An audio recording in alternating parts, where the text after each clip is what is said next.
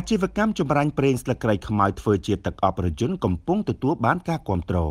ពេញហរតីជាសហគ្រាសធុនតូចដែលមានសង្វាក់ផលិតកម្មចម្រាញ់ប្រេងស្លឹកគ្រៃខ្មៅដើម្បីផលិតចេញជាផលិតផលច្នៃពីស្លឹកគ្រៃខ្មៅដូចជាទឹកអប់ប្រេងស្លឹកគ្រៃតែផ្កាស្លឹកគ្រៃលេនិងសាប៊ូដែលផលិតពីគ្រឿងផ្សំធម្មជាតិផ្ដល់គុណភាពល្អប្រសិទ្ធភាពខ្ពស់និងកំពុងមានតម្រូវការទីផ្សារ លោកប៉ែនពូលីជានាយកគ្រប់គ្រងទូតទៅសហគ្រាសពេញហរតីបានមានប្រសាសន៍ប្រាប់ AMS ឲ្យដឹងថាសហគ្រាសយើងនៅកម្រិតតូចនៅឡើយតែយើងបានដំណើរការយ៉ាងសកម្មនិងបានដាំដុះកែច្នៃផលិតផលនៅខេត្តបាត់ដំបងហើយក៏បានចូលរួមជួយជីវភាពបងប្អូននៅតាមតំបន់មួយចំនួន ដោយផលិតផលទឹកអប់ប្រេងស្ទឹងគ្រៃដាក់តាមរជនតើមួយមុខអាចលក់បានប្រមាណ2010នៅក្នុងមួយខែ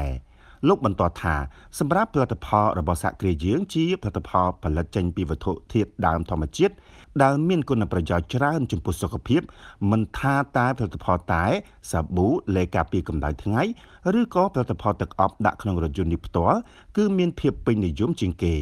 ចំពោះទឹកអប់ប្រេងស្លឹកគ្រៃសម្រាប់ដាក់តាមរថយន្តនេះមានប្រសិទ្ធភាពអាចជួយបំបត្តិក្លិនមិនល្អក្នុងរថយន្តធ្វើឲ្យមានក្លិនក្រអូបប្រហើរផ្ដល់នូវភាពស្រស់ស្រាយសម្រួលសុខភាពផ្លូវដង្ហើមពិសេសវាផ្សំពីស្លឹកគ្រៃខ្មៅដែលអាចជួយឲ្យអ្នកនៅក្នុងរថយន្តមិនសូវចុករយដៃជើង នៅពេលធ្វើដំណើរផ្លូវឆ្ងាយ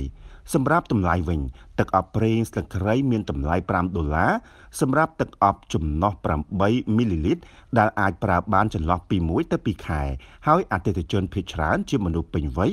ដែលមានរថយន្តឬបងប្អូនមួយចំនួនទៀតដែលទិញយកទៅដាក់តាមបន្ទប់ឬដាក់ក្នុងម៉ាស៊ីនឆ្ពង់ដើម្បីមានក្លិនក្រអូបប្រហើរលោកប៉ែនពូលីក៏សូមថ្លែងអំណរគុណដល់អតិថិជន ដែលតែងតែគាំទ្រមិនថាទឹកអប់សាប៊ូឬតែនោះទេហើយថ្ងៃអនាគតលោកនឹងក្រុមការងារក៏នឹងពង្រឹងការផលិតបន្ថែមទៀតនៅផលិតផលធម្មជាតិច្នៃពីវត្ថុធាតុដើមក្នុងស្រុកដែលជាផ្នែកមួយ ជួយលើកកម្ពស់ជីវភាពប្រជាជនក្នុងតំបន់។